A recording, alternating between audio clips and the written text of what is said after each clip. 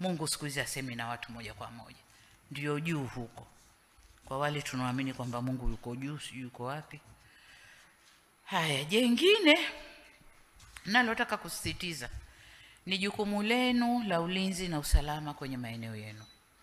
Nyinyi si ndio maamiri jeshi wakuu kule, wakuu wa mikoa na marasi huko, ndio wasaidizi wa karibu, ndio mko na kamati za ulinzi na usalama. Nyinyi ndio maamiri jeshi wakuu kule. Jukumu la kuhakikisha eneo lako liko salama, na hilo nawashukuru. Kama ninyi au kamati za ulinzi kule, lakini nawashukuru. Tanzania tuko salama. Kwa hiyo kazi inafanyika vizuri, lakini tunapozungumza usalama ni usalama wa aina zote. Usalama mkubwa unaoletwa na mabadiliko ya dunia sasa hivi ni usalama wa vijana wetu, usalama wa vijana wetu.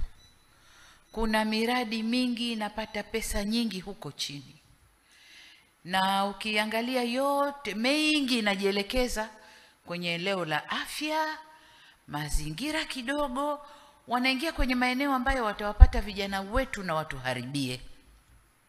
Sasa simamieni hiyo miradi, kuweni na jicho zuri huko chini. Miradi inayokuja kwako, lengo lake ni nini? Inafanya nini?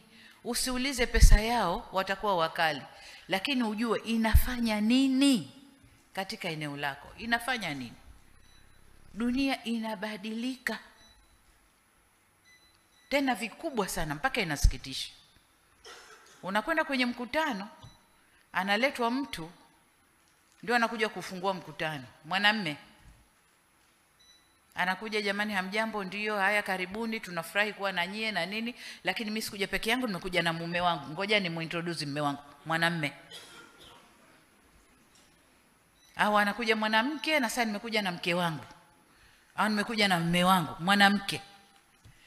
Lakini wanatufanyia makusudi ili tuizoee ile hali wanapo penetrate huku kwetu kuja kutuharibia, tuone ah, si ya kawaida. Ndugu zangu, si ya kawaida.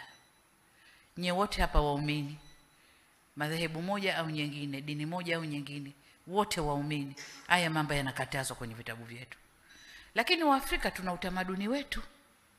Kwa hiyo kazi yenu ni kulinda vijana wetu, kustik kwenye tamaduni zetu, tamaduni za nje zisituharibie. Lakini usalama wa pili ni kuhakikisha kwamba watu wana chakula cha kutosha. Panapokuwa na chakula cha kutosha, kawaida hakuna vurugu. Mtu anaweza kustahamili, Watanzania wetu wamestahamili miaka kadhaa, hakuna maji, lakini kwa sababu alikuwa anayapata mitoni, wapi wapi ya kuokota, inawauma, lakini wamestahamili. Panapokosekana chakula, hakuna stahamala. Kwa hiyo kila mwenye mkoa mkuu wa mkoa, rasi, wakuu wa wilaya, kahakikisheni vijana wetu wanaingia kwa wingi kwenye programu ile ya kuhakikisha tuna chakula cha kutosha. Uh, kamati za usalama za mikoa na wilaya nilishasema, ingawa bado kuna vitendo vidogo vidogo, ubakaji, wizi, nini vinajitokeza, majambazi kidogo pale na hapa, hivyo vinakuwa contended tunaendelea, lakini ulinzi mkubwa kama nilivyosema, ulinzi wa vijana wetu, ulinzi wa chakula, huo utatu, uta, utaendelea kuifanya nchi yetu iwe imeendelea kutulia zaidi. Swala jingine ni shu, uh, swala la kushughulikia kero, malalamiko na mahitaji ya wananchi. Hicho ndicho mlichopelekewa kule.